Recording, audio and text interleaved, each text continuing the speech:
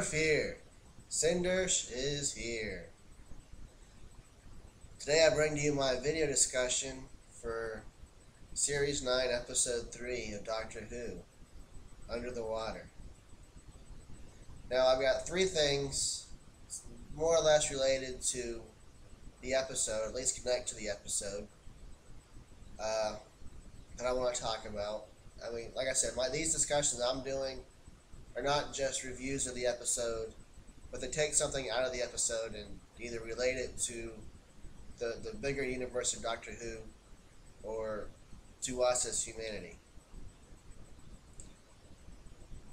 Or it could just be sometimes what's going on in the episode. Uh, my last one will be kind of like that. But first off, I want to talk about the sunglasses. I don't get everyone's big deal with the sunglasses. I mean, at least he's not going. He's not going around telling you, Sonic sunglasses are cool. And you know, I've posted one place a, a joke because you know, Captain Jack Harkness. He gives the Doctor a hard time about his sonic screwdriver.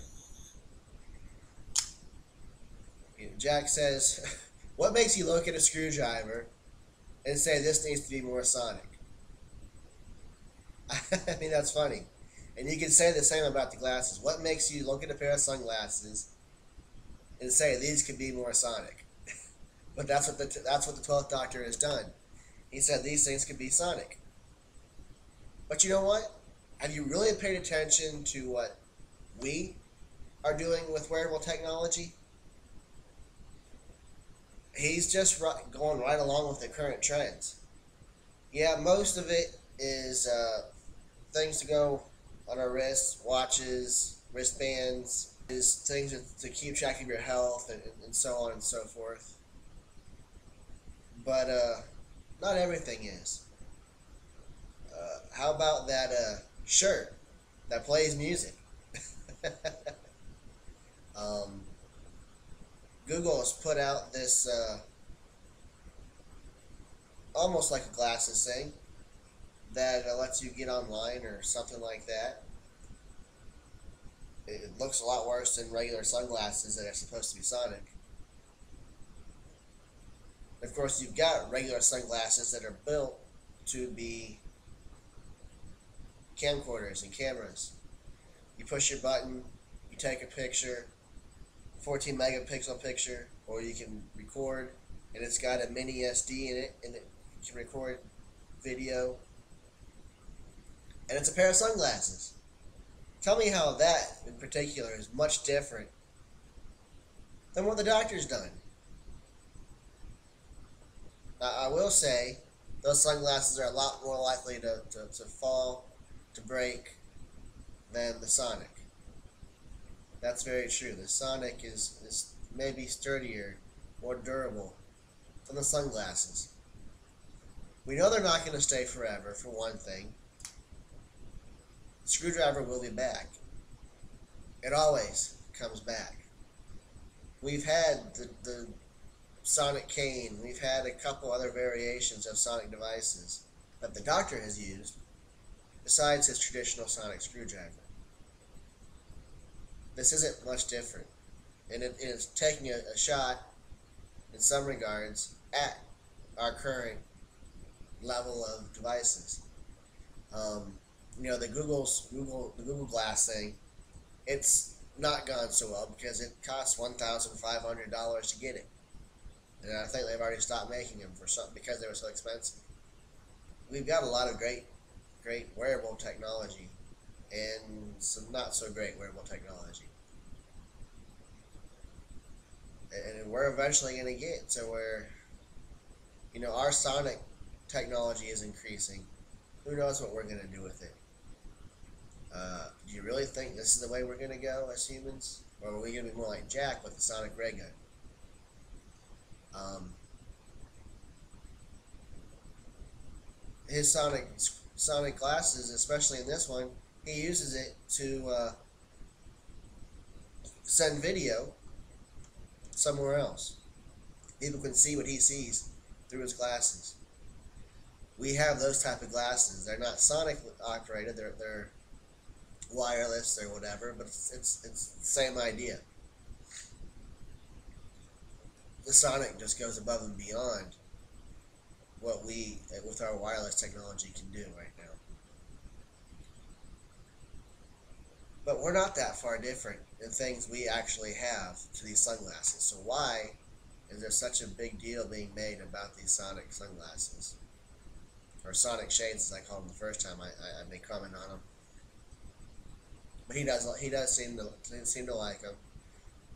And for the twelfth Doctor, they kind of fit his personality.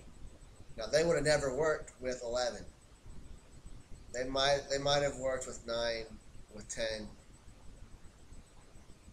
They work with twelve. They wouldn't have worked too well with eleven.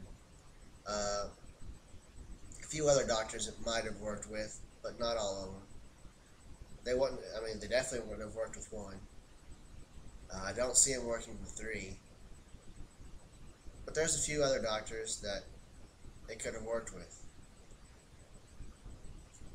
Give it a rest, people. It won't be here forever. Who knows how they're to go away? They may get smashed, whatever. It's eventually to go back to a screwdriver. In the meantime, let's see how, how Moffat's to use this use the shades. What ways they, they can be beneficial so he actually gets a chance to do something with them that you wouldn't do with a screwdriver.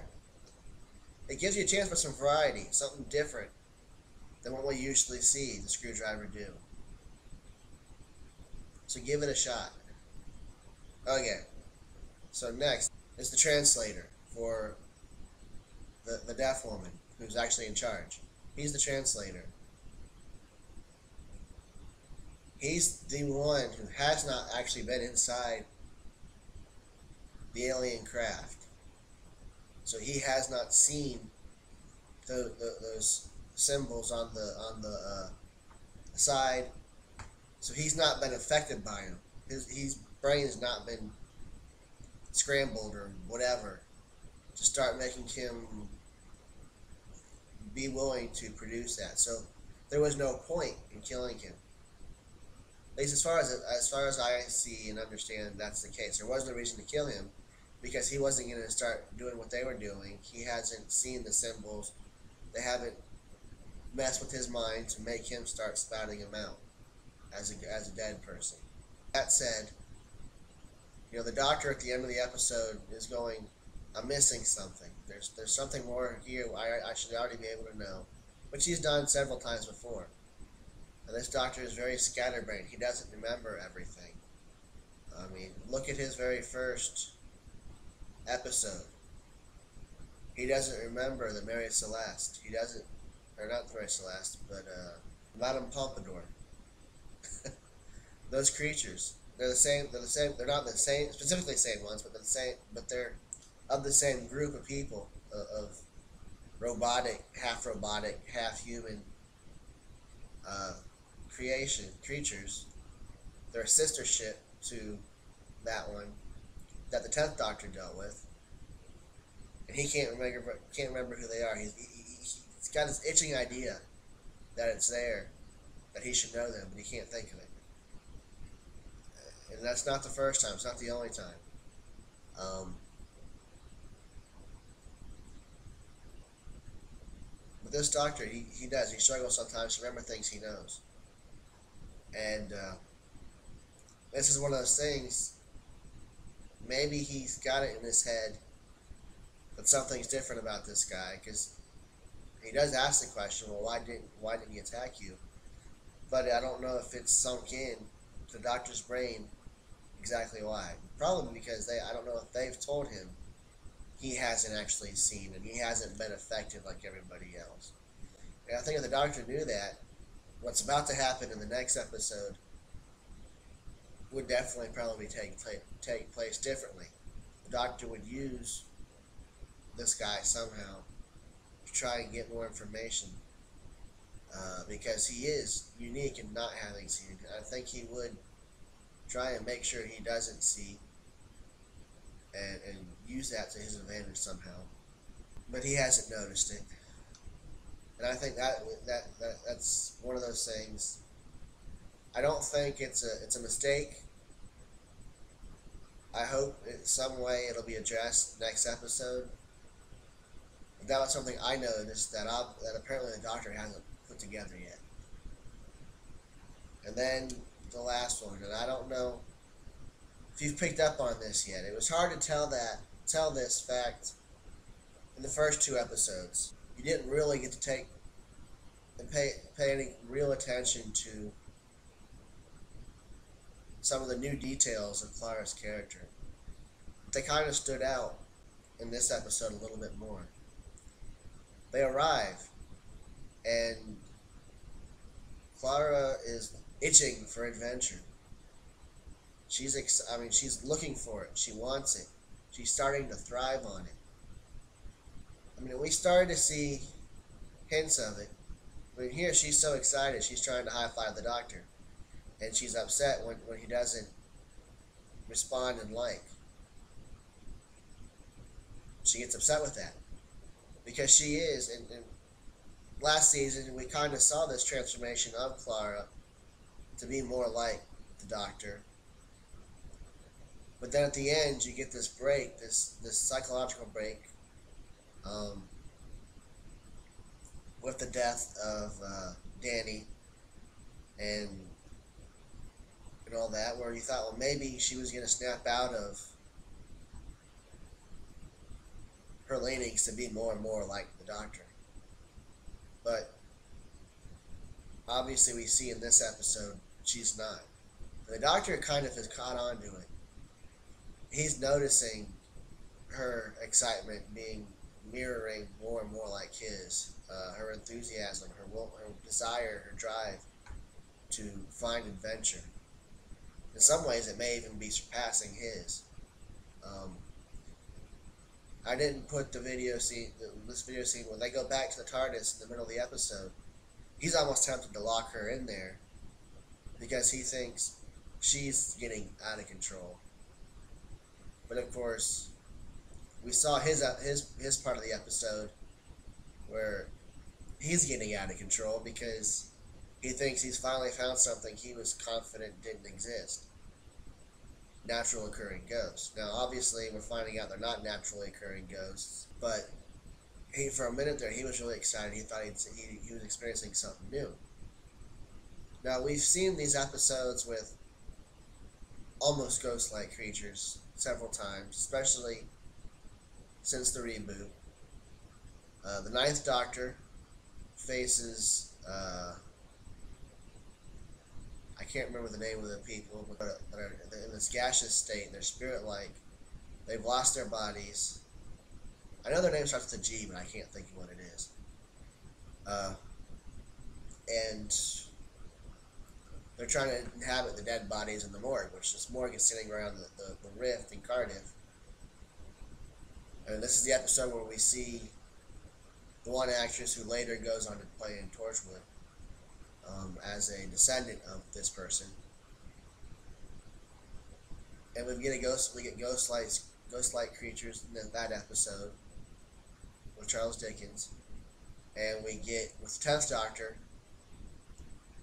where we end up with one of the most heart wrenching scenes, following on the heels of the of this adventure, with the uh, Cybermen from a different universe that have found a way to start trying to bridge into our universe, and everyone sees them as ghosts every time the Torchwood Institute is using this machine and doing things. But the Cybermen appear like ghosts. So people think they're ghosts, and the doctor's able to prove to them they're not. So I mean, it's not the first time we've we've, we've seen ghosts. Of course, the eleventh Doctor goes uh, with, with, the psychic and and uh, this guy studying what he think he thinks is a ghost. So he's got all his equipment for that, and he and this one's with Clara as companion, and um, deals with this bubble universe where where she's visible on occasion in our universe, and it seems like she's a ghost from the past, but she's really living in in a much slower time frame. So her history seems to be unchanging when in her reality it is. And of course, again, the doctor was confident it wasn't a ghost, but this time he was. And they are, in a sense, ghosts. They're, they're definitely the closest thing we've had to real ghosts in the series. But I'm off topic now, aren't I? Um, but Clara, Clara has changed. She is a thrill. I mean, she was always something of a thrill seeker in a, in a sense. But she's different. And I want to. I, I don't know how this is going to play out for the rest of the series.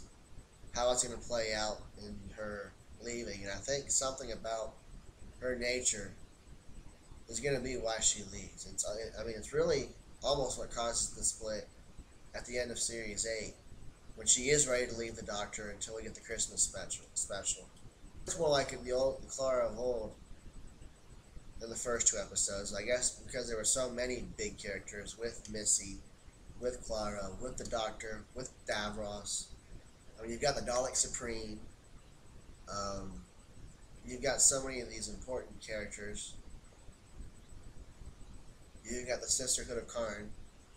Uh, I mean, you've got a lot of people involved in, in those two episodes. It was easy to not see any of the nuanced stuff. I mean, you see, like I said, she looked more like the old Clara. I mean, she takes advantage of, of finding the mistress's stick, but then she wasn't willing to do anything with it. That was the that looked like the old Clara. Now she's more interested in saving the day than she was before. Showing in her character, I mean, she sounded like a very different person, especially in this clip here. Um, I mean, she sounded very different, and it's something we've seen to a degree with some of the more, with some of the previous doctors. Is the the people he's traveled with turn out to be warrior-ish. I mean, it, Davros and the Daleks point that out to the Doctor uh, during the end of Tennant's, the Tenth Doctor's reign. You know, you've turned all these people into warriors. Martha, uh, Mickey, Mickey becomes a warrior, and, and Mickey was, was, he was afraid of confrontation. He, he, he was a wuss in a big sense when we first meet Mickey. But through his adventure, especially going to that parallel universe, uh, meeting up with his other version of himself and the resistance there, turns into a soldier. Um, how scary was it to watch Rose during uh, during that time when she pops up with this huge old gun herself? I mean, that was not Rose before either. When she's complaining, Doctor, what are you turning into in the episode Dalek? And yet, somehow, he always seems to rub his companions in that direction. But I think Clara's has been the most like the Doctor. And I, am curious to see how that's going to play out. But I mean, that almost kind of rubbed me as being off, as being a bad thing in her case.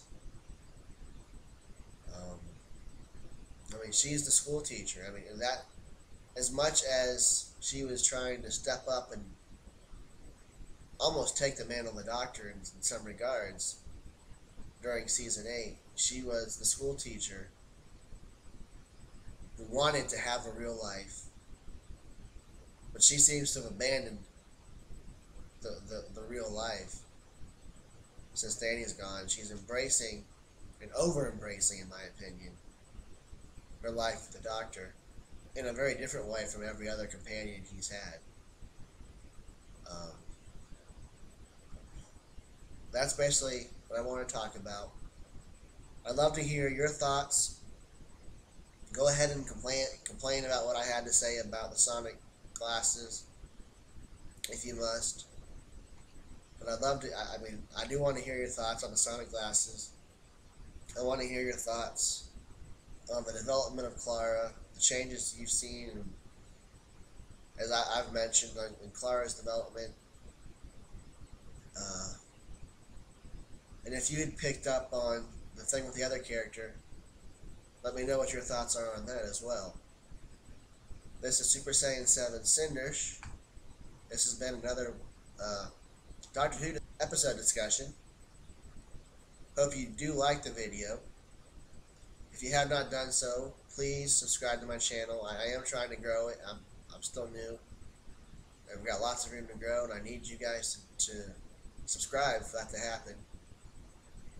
And we will see you again here in the near future with another video.